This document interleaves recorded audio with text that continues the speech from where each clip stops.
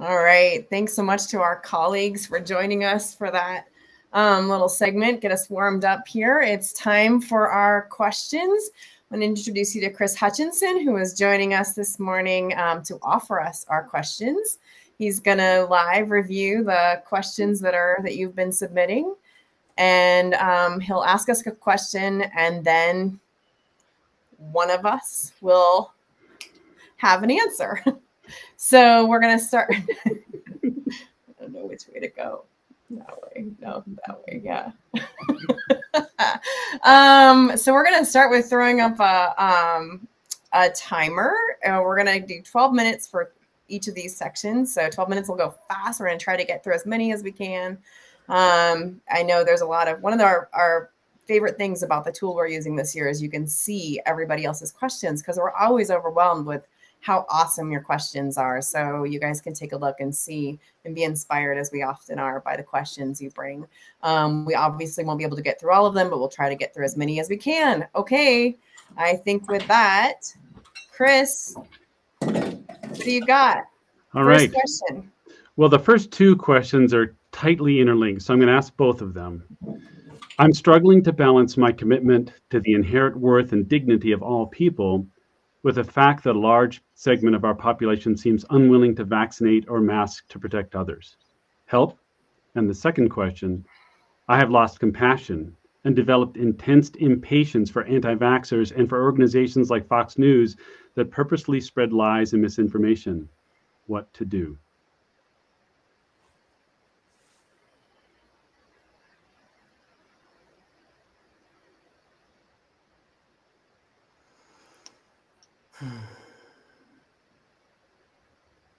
Well, I have a real simple response to the first question, which is that, oh, it's just me, folks. Um, I think feeling um, angry and disappointed with someone's behavior doesn't have an impact on their inherent worth and dignity. And I think that's the deep, deep challenge of that first principle of ours. And I think it only becomes even more challenging and more robust when paired with our seventh principle that we're all inextricably and fundamentally linked together in this life. So I don't think that respecting somebody's inherent worth and dignity means you need to like them or res- even respect their behaviors and choices but it means they're still seen as a person with full humanity, just like you and me. Can I just jump on? I there was one part of that that really stood out to me in one of the questions. Um, I um, I one of the the the components there was about Fox News and the people spreading the misinformation, and I just wanted to name that like I it's that we need not ask the Supreme Court that um, organizations do, need not be given the same concept of inherent worth and dignity as we offer individuals. And hmm. so we can find an organization that is systemically um, working against life and enabling others, encouraging others to work against life.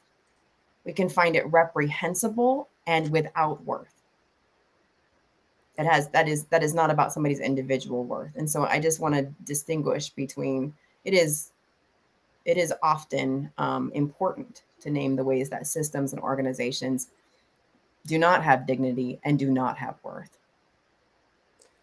The only thing i want to add is that you should do it um, you should not think that you have to see someone's inherent worth that offering compassion should be a, a selfish choice, I think, because in doing so, in, in living in a compassionate way, you experience, uh, you live a better life. And so the, the question that I would have is like, how do you need to tend to the harm that you've experienced because of other people's actions so that you can then come and experience that compassion again? And so I would say eh, don't turn to those other people, those systems that are that are destructive right now. if you're having a hard time finding that compassion, turn turn inward and see how you need to tend to what is causing that that rift in your kind of soul in your capacity. I really appreciate you all answering the sort of combo question there because it definitely is a theme throughout what we're going to be talking about. To shift gears, the next question is now that we have adopted the eighth principle, what actions can we take to make our promise real in our congregation? I'll go. So, um, the thing that I think is most important right now is that we think about the question of accountability that the eighth principle invites us towards.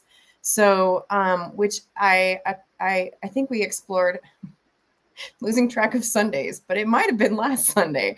Um, so that this that we think more deeply about who we need to be um, in relationships of accountability with and with whom, um, so that um, we can think more uh, particularly about that question that it poses of living in accountable relationships on behalf of beloved community. And I think it's something that we haven't um, we haven't always managed to ground ourselves in. So um, having some of the questions we started last Sunday of um, to whom are we accountable, and really particularly in our in our local community, to whom are we as foothills accountable?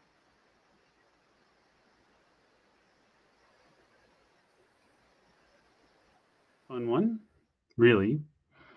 Why are UUs generally so shy about telling anyone about our religion?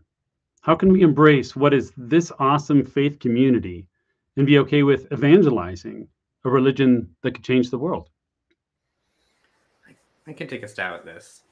I think that there's, you know, we put such a um, a priority in our faith on uh, choice and freedom, right? We we want a faith that is free, um, free for us to be honest with our experience, free for us to find our path, our piece of the truth, and so it it feels counterintuitive to um, to try to push someone into that kind of freedom because we want them to you know be following their own path.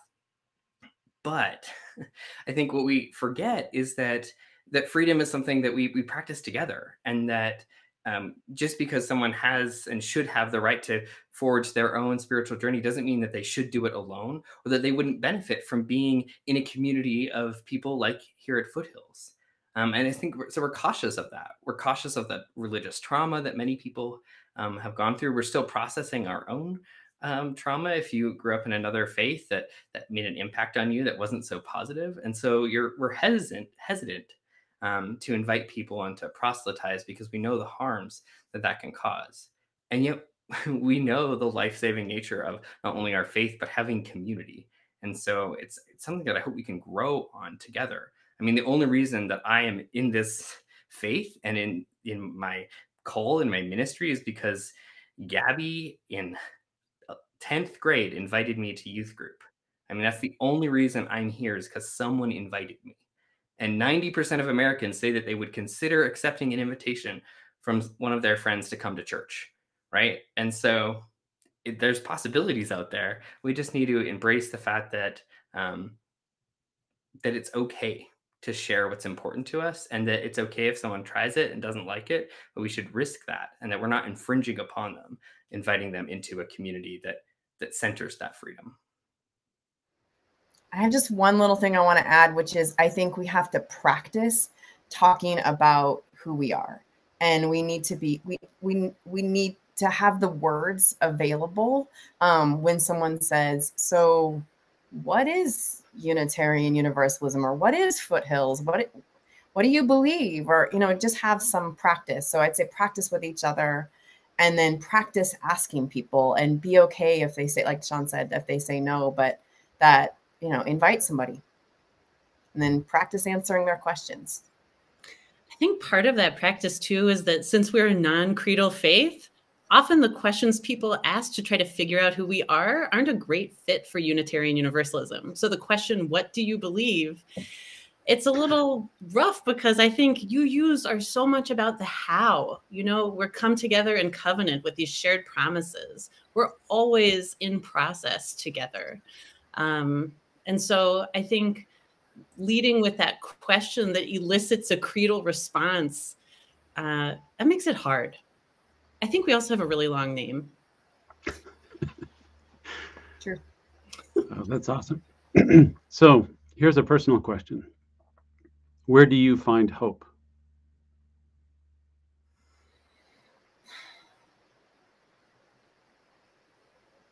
Um, I just, I, I just read a story this morning, um, kind of talking through like, you know, you can look at the at the news headlines and um, and maybe struggle with hope, but the the the way to find hope is always um, to go closer in, to look at your your closest circle around you and to read to state to make your own headlines is what this this person was saying um, and so I, in my life, I always, I, I'm always turning towards those closest in. So um, all of you, this community, I find so much, I like shocking levels of generosity and kindness and compassion and struggle with all the the right things those right questions as sean was saying and i find hope in you know continuing to journey together. That that willingness of people to show up and keep keep journeying together. I just I mean, add i find hope in witnessing people's resilience. And in particular i find hope in stories of survivors and how long uh, you know, across time, human beings have survived so many incredibly oppressive and painful situations. And thinking especially about survivors who've broken cycles, those people who found ways to break cycles of abuse, to break cycles of oppression. I find that um, incredibly powerful. And that's a big part of what brings me back to church because there's no other kind of community I'm a part of where we really talk about the deep pain that we've been through and how we keep going and how we rebuild a life uh, despite what's happened. I don't always, um, I don't always have hope. Actually, hope isn't something that I feel is necessary for living a, a meaningful life, nor a life that is striving towards impact um, and to change the course. I think that hope is important in, or for many people, hope is important as kind of a deterrent to feeling hopeless or fatalistic or nihilistic. Um, but for me, sometimes hope can lull me into a sense of um, that other people can do it or that I don't have a responsibility or that I need to see a way forward for um, for me to be able to take that next step. And so I, I don't always have hope, um, but I do have commitment, um, a personal commitment and, and, a collective commitment in the communities I'm a part of um, to figuring out how we take that next step, even if it's all all for nothing, um, because I know that's the life that I want to live, and that it makes my life better and the life of my community better. I love the way that you have in community shared the hot seat and really been supportive of each other in these powerful questions. And there will be more. So for now, we're going to wrap that up and go on to the rest of our service.